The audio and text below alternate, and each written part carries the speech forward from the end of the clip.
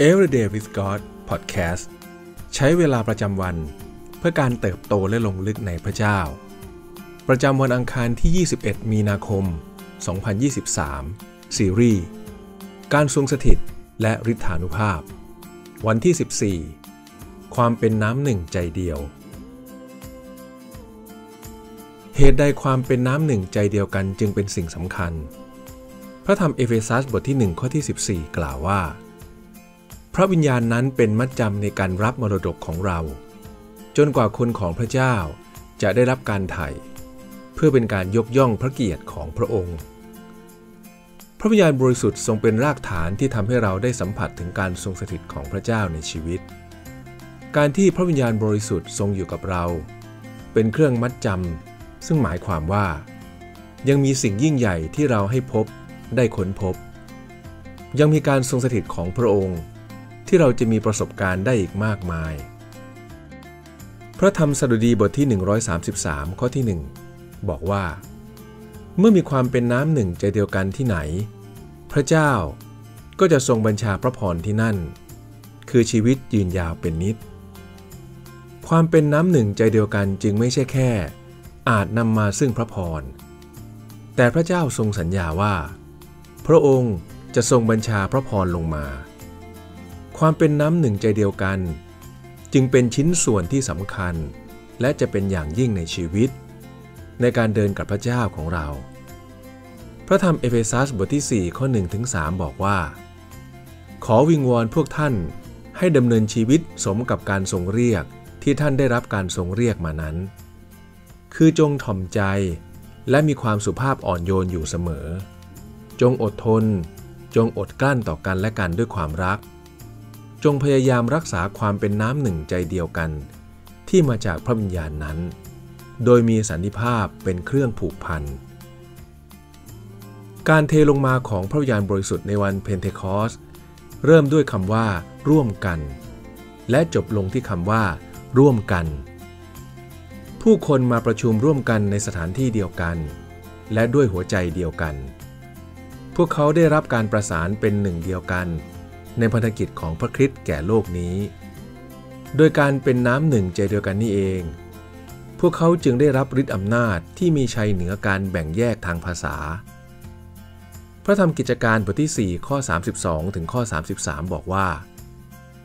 คนทั้งหลายที่เชื่อนั้นเป็นน้ำหนึ่งใจเดียวกัน และไม่มีใครอ้างว่าสิ่งของที่ตนมีอยู่นั้นเป็นของตนเอง แต่ทั้งหมดเป็นของส่วนกลาง และด้วยฤทธานุภาพอันยิ่งใหญ่ บรรดาอัครทูตก็เป็นพยานถึงการคืนพระชนของพระเยซูองค์พระผู้เป็นเจ้า และพระคุณอันยิ่งใหญ่อยู่กับพวกเขาทุกคน เปโตรได้ให้ภาพของการสร้างสมาชิกคริสตจักรว่า เป็นก้อนหินในฝ่ายวิญญาณ ที่ก่อร่างร่วมกันอย่างสมบูรณ์ ในพระธรรมหนึ่งเปโตรบทที่สองข้อที่ 5 บอกว่า และพวกท่านเองเป็นดังศิลาที่มีชีวิต จงรับการสร้างขึ้นเป็นพระนิเวศฝ่ายวิญญาณ เพื่อเป็นปุโรหิตบริสุทธิ์ เพื่อถวายเครื่องบูชาฝ่ายวิญญาณ อันเป็นที่ชอบพระทัยของพระเจ้าโดยทางพระเยซูคริสต์นี่คือพันธะ และความเชื่อมั่นใจของผู้เชื่อ ที่มีความเป็นน้ำหนึ่งใจเดียวกัน แม้เราจะอาศัยอยู่ในโลกที่ดูแตกแยก และเต็มด้วยความบาดหมาง แต่คนของพระเจ้า จะถูกสร้างให้มั่นคงร่วมกันด้วยฤทธิอำนาจของพระคริสต์พระวิญญาณบริสุทธิ์ทรงประทับในผู้เชื่อทุกคน เพราะเราต่างเป็นประชากรที่พระองค์ได้พันผูกไว้ร่วมกัน ความเป็นน้ำหนึ่งใจเดียวกัน จึงจำเป็นต่อการเทลงมาของพระวิญญาณบริสุทธิ์ และฤทธิอำนาจของพระองค์ ดังเช่นพระธรรมโรมบทที่ 16 ข้อที่ 17 เตือนเราว่า พี่น้องทั้งหลาย ข้าพเจ้าขอวิงวอนท่าน ให้สังเกตดูคนที่ก่อเหตุวิวาท และทำให้คนอื่นหลงไปจากคำสอนที่ท่านทั้งหลายได้เรียนมา จงตีตัวออกห่างจากคนเหล่านั้น อาจกล่าวได้ว่า พระคัมภีร์กำชับเราให้ปกป้องความเป็นน้ำหนึ่งใจเดียวกันนี้ไว้ จงจำไว้เสมอว่า ความเป็นน้ำหนึ่งใจเดียวกันนั้นไม่ใช่การตกลงเห็นชอบกันในทุกเรื่อง หากแต่เป็นการยืนหยัดที่จะรักกันและกัน แม้ท่ามกลางความแตกต่าง อันที่จริงแล้ว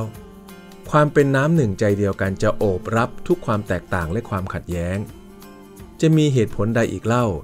ที่ขัดขวางเราไม่ให้เลือกที่จะรัก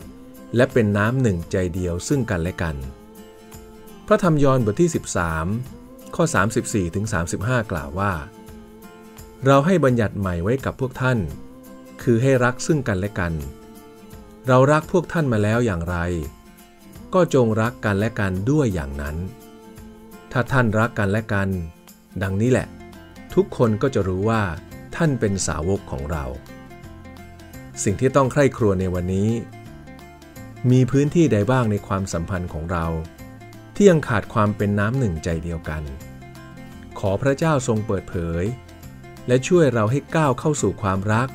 และเป็นน้ำหนึ่งใจเดียวกันในฐานะสาวกของพระเยซูร่วมกัน ให้เราอธิษฐานด้วยกัน พระบิดาที่รัก เราขอบพระคุณพระองค์ผู้ทรงผูกพันเราไว้ร่วมกันในพระคริสต์เราขอบคุณพระวิญญาณบริสุทธิ์ ผู้ทรงนำเราให้ได้รักกันและกันในฐานะสาวกของพระคริสต์ขอทรงช่วยเราให้ได้ยืนหยัดที่จะรักเพื่อน พี่น้อง แม้เราจะแตกต่างและขัดแย้ง ขอทรงให้ความรักนำหน้าหัวใจ ให้เราจะขัดเกลาซึ่งกันและกัน ตักเตือนให้กำลังใจ รับใช้กันและกัน เพื่อมุ่งสู่ความไพบูรณ์ของพระคิดร่วมกัน เราอธิษฐานในพระนามพระเยซู อาเมน